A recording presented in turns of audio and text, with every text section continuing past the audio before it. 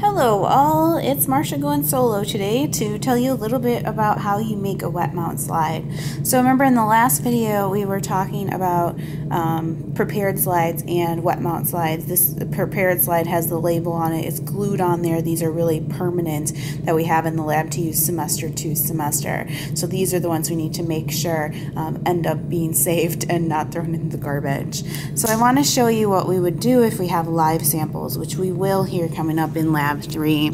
Um, so what you'll need to prepare to make a wet mount slide is first clean slides, cover slips to protect the specimen, distilled water, basically purified water, and a stain of some kind. Uh, in this case, I'm going to use potato, so I will use iodine for the stain. You may also find forceps, or what you would probably call tweezers, um, to help out with that, as well as paper towel.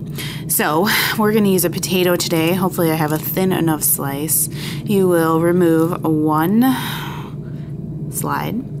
Okay, and these slides may be a little bit dirty, so feel free to wipe them down with a Kimwipe so that um, all the oils and stuff are out them. And then make sure to hold them from the side like I am here. So notice I have, um, I'm grabbing that from the sides of the um, slide as opposed to pinching it right on the glass. That'll leave fingerprints and goo all over it that can interfere with what's going on on the slide.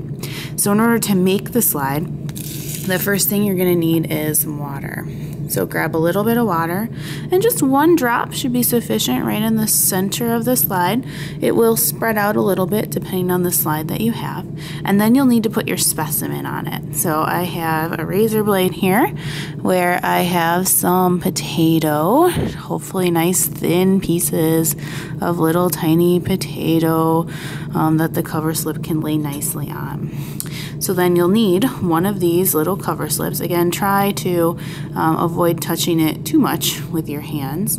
Um, and they're always going to have these little annoying paper things on them, or some of them even have covers of plastic. So um, get that um, by itself and we will put that onto the slide.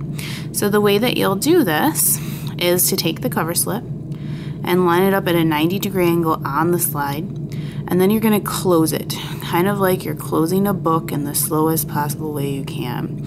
Okay, and as you do that, you will get as close to the slide as you can and you will drop it.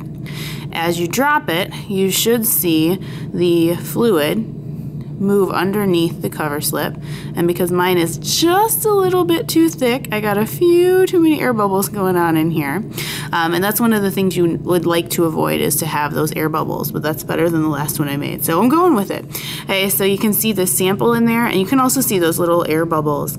Um, so now a lot of times the specimens that we have are not going to be easily seen because they're clearish kind of cells.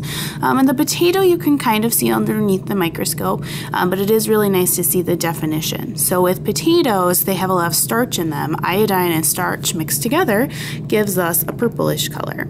So we're going to take the iodine and we're going to place it right here along the side of our cover slip.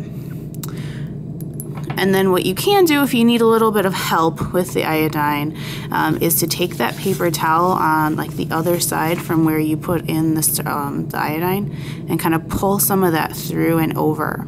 And as you do that, you will see that the specimen changes a little bit of color and it's probably going to be a little hard to see um, here, but you can kind of see it starting to turn purplish right there in the center. Um, that indicates that we have a nice stain that's reaching to the potato. Now you're going to use plenty of other kinds of stains. You may not be able to see them. That's one of the reasons that we let the stain sit on the slide for at least a minute, usually two minutes, just to make sure that that stain actually makes it into the potato. So because I'm tipping it, it's having a little bit of a difficulty um, reaching all the way to the potato, but that capillary action of the paper towel will help to pull out some of that extra fluid and give you even a more stable slide anyway. Okay, now these are basically one-time use. You will use them to draw and explore uh, the different types of cells, and then we will place them in the glass waste so that they are not saved forever and ever.